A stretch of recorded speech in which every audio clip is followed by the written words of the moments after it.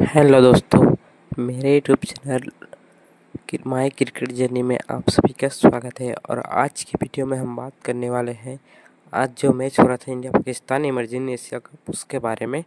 तो आप सबको तो पता ही होगा थंबनेल देख के आप लोग समझ गए होंगे कि आज हम लोग किस टॉपिक पे बात करने वाले हैं। तो वीडियो को लाइक सब्सक्राइब ज़रूर कीजिए और आप सच्चे देशभक्त है क्रिकेट प्रेमी हैं इंडिया के। तो आप कमेंट ज़रूर कीजिए आज। इस वीडियो के बारे में कमेंट ज़रूर कीजिएगा आज। तो चलिए, बिना देरी करते हैं वीडियो का स्टार्ट। तो आज का मैच में हो रहा था तो आप लोग देख सकते हो, तस्वीरों में साफ़ बया है कि क्या हुआ था। कैमरा में कैद किया गया है। जब अभिषेक शर्मा ने आज अच्छी बल्लेबाजी कर रहे थे, दो सिक्स मारे थे और पाँच चौके और अपने पैंतीस रन के निजी स्कोर में खेल रहे थे। और तभी क्या होता है बालर सुल्फान के बॉल में वो काश्मीर के पास कैच आउट हो जाते हैं। उसके बाद पाकिस्तान के बॉलर, देख सकते हो, सुल्फान ने किस तरह से मज़ाक उड़ा रहा है अभिषेक शर्मा का। आपको सारा चीज़ दिख रहा है यहाँ पर। अभिषेक शर्मा देख सकते हो, बॉलर का रिएक्शन देख सकते हो और फील्डर ने किस प्रकार कैच पकड़ा वो भी देख सकते हो।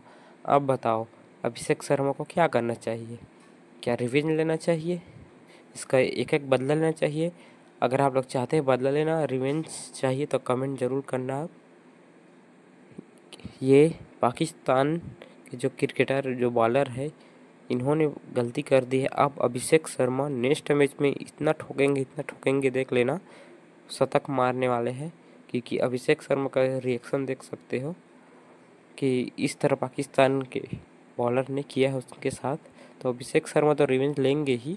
और मैं भी बोलता हूँ कि रिवेंज लेना चाहिए ने मैच में इस बॉलर को कम से कम से चार पाँच छक्के तो लगने ही चाहिए अभिषेक शर्मा के बल्ले से। तो मैं यही दुआ करूँगा और आप सबको भी बोल रहा हूँ कि आप लोग कमेंट कीजिए, आप लोग क्या चाहते हैं कि रिवेंज लें कि छोड़ दें, ज़रूर कमेंट कीजिएगा।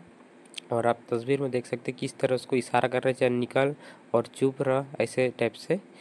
इशारा में आप लोग कुछ समझदार है, आप लोग खुद समझ सकते हो।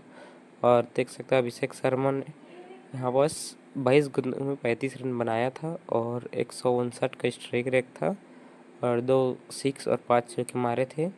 और बॉलर वेस्टमैन का नाम भी यहाँ से आप देख सकते हैं बस काश्मीर ने कैच किया था फील्डर और सफियान ने बॉलिंग कर रहे थे तो देख सकते हो।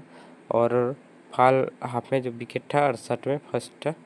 तो आज के लिए वीडियो इतना ही और फिर मिलते हैं नई वीडियो में। तो कमेंट ज़रूर कीजिए, इस वीडियो का कमेंट जो भी व्यूवर देखता है कमेंट करना बिल्कुल ज़रूरी है। आप कमेंट ज़रूर करना इस वीडियो में।